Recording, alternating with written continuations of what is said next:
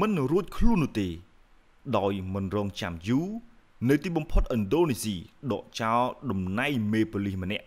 រួមទាំងមន្ត្រីប៉ូលីសនៃកងកម្លាំងពិសេស9នាក់ផ្សេងទៀតនៅក្នុងសកម្មនេតកម្មមួយនៃកីឡាដ្ឋានបាល់ទាត់ដែលបានផ្ដាច់ជីវិតមនុស្ស174នាក់គណៈ FIFA នោះវិញ បានប្រកាសបើកការស៊ើបអង្កេតជាបន្ទាន់មួយ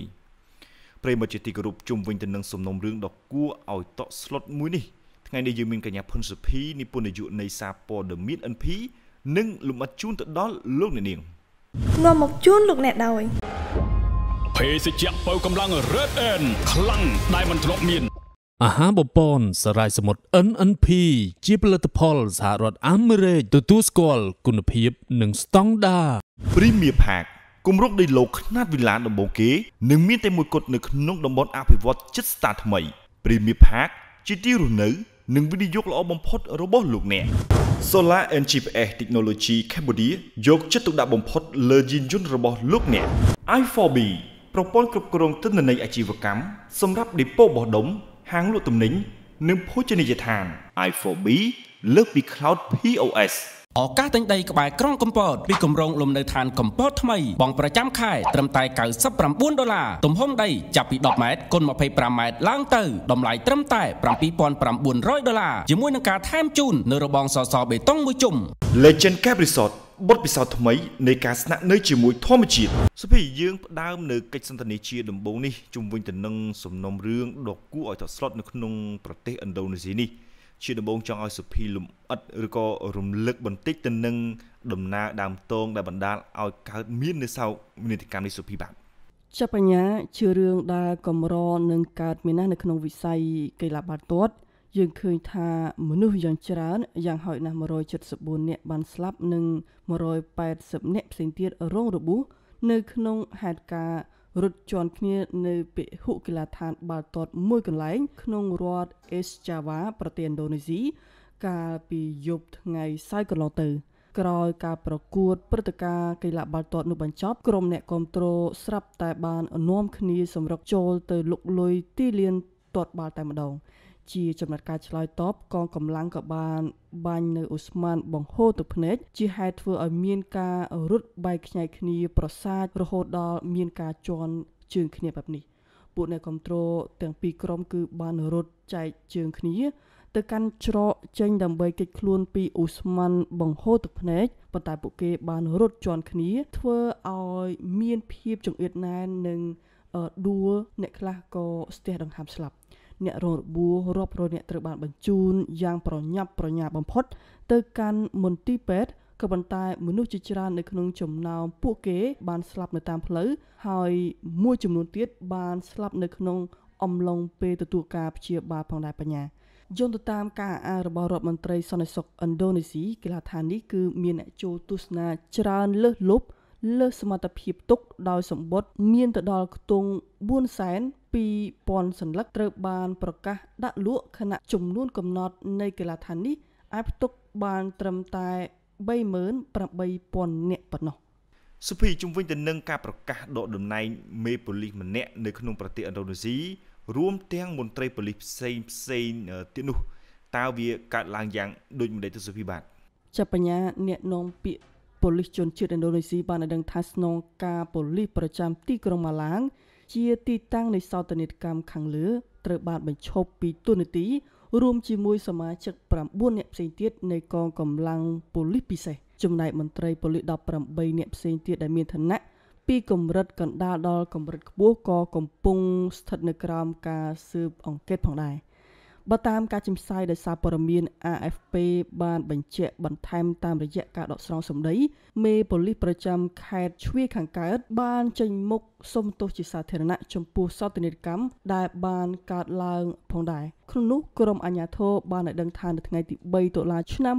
2022ប្រទេសឥណ្ឌូនេស៊ីបានបង្កើតក្រុមការងារឯករាជ្យមួយដើម្បីស៊ើបអង្កេតការប៉ះទង្គិចក្រុមមនុស្សនៅឯកីឡាដ្ឋាន បាល់ទាត់ដែលបណ្ដាលឲ្យមនុស្សស្លាប់174នាក់ខណៈដែលគណៈកម្មការសិទ្ធិមនុស្សនៃប្រទេសនេះបានធ្វើការស៊ើបអង្កេតនិងសាកសួរមូលហេតុដែលធ្វើឲ្យប៉ូលីសទាំងនោះសម្រេចចិត្តបាញ់អ៊ូស្មានបង្ហូរទឹកភ្នែកសូមបញ្ជាក់ថារដ្ឋមន្ត្រីជាន់ខ្ពស់មួយរូបបានលើកឡើងកាលពីថ្ងៃច័ន្ទថាប្រទេសឥណ្ឌូនេស៊ីនឹងផ្ដល់សំណងចំនួន3268ដុល្លារអាមេរិកដល់គ្រួសារជនរងគ្រោះ ក្នុងហេតុការណ៍នេះដែរប្រធានាធិបតីឥណ្ឌូនេស៊ីលោកជូកូវីដូដូបានចេញបញ្ជាឲ្យផ្អាកជាបណ្ដោះអាសន្នសិននៅរាល់ការប្រកួតទាំងអស់នៃលីកក្នុងស្រុកហើយត្រូវរៀបចំត្រួតពិនិត្យឡើងវិញនៅផ្នែកសវត្ថិភាពនៃកីឡាដ្ឋានបាល់ទាត់ទាំងអស់លោកជូកូវីដូដូបានប្រកាសថារដ្ឋមន្ត្រីក្រសួងយុវជននិងកីឡារួមជាមួយអគ្គស្នងការប៉ូលីសជាតិនិងប្រធានសមាគមបាល់ទាត់នៃប្រទេសឥណ្ឌូនេស៊ី ត្រូវបង្គាប់ឲ្យរួមគ្នាបើកកិច្ចត្រួតពិនិត្យនិងវិតម្លៃឡើងវិញ ទៅលើការប្រកួតក៏ដូចជានីតិវិធីរក្សាសន្តិសុខស្របពេលដែលគម្រោងរៀបចំការប្រកួតទាំងអស់នៃលីកទាត់បាល់ក្នុងស្រុកត្រូវបានផ្អាកជាបណ្ដោះអាសន្នសុភីសំណួរជាចុងក្រោយរបស់ខ្ញុំនេះចង់ជម្រាបសួរទៅកាន់សុភីថាក្រៅតែពីចំណាត់ការរបស់អាញាធរឥណ្ឌូនេស៊ីទៅលើមន្ត្រីប៉ូលីសប្រមាណអ្នកនឹង តើមានស្ថាប័នឯណាផ្សេងទៀតទេដែលចាប់អារម្មណ៍ទៅលើសំណុំរឿងដ៏គួរឲ្យតក់ស្លុតមួយនេះសុភីបាទចាបញ្ញាប្រធានស្ថាប័ន FIFA បានហៅហេតុការស្លាប់មនុស្សដ៏ច្រើនសន្ធឹកសន្ធាប់នេះថាជាថ្ងៃដ៏ខ្មៅងងឹតសម្រាប់វិស័យកីឡាបាល់ទាត់ និងជាសោកនាដកម្មដ៏អាក្រក់ហួសថ្លែងខណៈដែល FIFA មិនទាន់មានការគ្រប់គ្រងច្បាស់លាស់នៃការប្រើប្រាស់ឧស្ម័នបង្ហូរទឹកភ្នែក នៅកីឡាដ្ឋានបាល់ទាត់និងការប្រកួតក្នុងស្រុកនៅឡើយទេ ដែលជាមូលហេតុបង្កទៅជាវិនិស្សកម្មបែបនេះត្រង់ចំណុចនេះខ្ញុំចង់បញ្ជាក់ឲ្យច្បាស់ថាគោលការណ៍របស់សហព័ន្ធសមាគមបាល់ទាត់អន្តរជាតិ FIFA គឺមិនអនុញ្ញាតឲ្យមានការបាញ់ឧស្ម័នបង្ហូរទឹកភ្នែកនៅក្នុងកីឡាដ្ឋាននោះឡើយបញ្ញាជំវិញទៅនឹងព្រឹត្តិការណ៍ដ៏គួរឲ្យសោកសៅនេះសូម្បីតែសម្ដេចតេជោហ៊ុនសែននាយករដ្ឋមន្ត្រីនៃប្រទេសជាណាចក្រកម្ពុជា ក៏បានគូបញ្ជាក់ផងដែរដោយនៅក្នុងពិធីបើកមហាសន្និបាតក្រុមប្រឹក្សាអូឡ িম্প ិកអាស៊ីលើកទី41កាលពីព្រឹកថ្ងៃទី4តុលាឆ្នាំ2022នេះសម្ដេចតេជោហ៊ុនសែនបានថ្លែងថាសោតនីយកម្មមួយចំនួន បានកើតឡើងនៅពេលដែលមានការប្រកួតកីឡា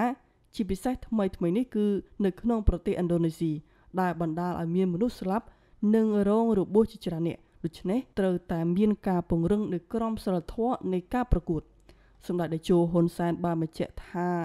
សម្រាប់ចំណុចទី2គឺចំណុចអំពីវិធានការនៃការពង្រឹងក្រមសីលធម៌នៃការប្រកួត គឺដោយសារតែមានបញ្ហាការប្រកួត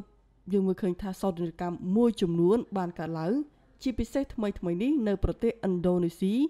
អំពើហិង្សានិងការរត់ជន់គ្នាស្លាប់នៅប្រទេសមួយចំនួននៅអឺរ៉ុបក៏មានព្រឹត្តិការណ៍កើតឡើង នៅទ្វីបដទៃក៏មានព្រឹត្តិការណ៍បែបនេះកើតឡើងដូច្នេះវាចាំបាច់ណាស់ដែលត្រូវពង្រឹងនៅក្រមសីលធម៌អំពីការប្រកួត ដែលមិនមែនគ្រាន់តែដើម្បីការឈ្នះនោះទេសម្រាប់ចំណុចទី2គឺជាចំណុចអំពីវិធានការនៃការពង្រឹងក្រមសីលធម៌នៃការប្រកួតហេតុអ្វីទៅដោយសារតែបញ្ហាការប្រកួត យើងឃើញថាសោកនេតកម្មមួយចំនួនបានកើតឡើង ជាពិសេស ថ្មីថ្មីនេះនៅឥណ្ឌូនេស៊ីអំពីហិង្សានិងការរត់ជន់គ្នាស្លាប់នៅប្រទេសមួយចំនួននៅអឺរ៉ុបក៏មានព្រឹត្តិការណ៍កើតឡើងនៅទ្វីបប្រទេសក៏មានព្រឹត្តិការណ៍កើតឡើងដូច្នេះវាជាការចាំបាច់ណាស់ដែលចាំបាច់ដែលការពង្រឹងនៅក្របខ័ណ្ឌក្រមសិលធម៌អំពីការប្រកួត ដែលវាមិនមែនក្រន់តែដើម្បីការឈ្នះក៏ប៉ុន្តែ រំលោភបំពានទៅលើលក្ខខណ្ឌនៃការប្រកួត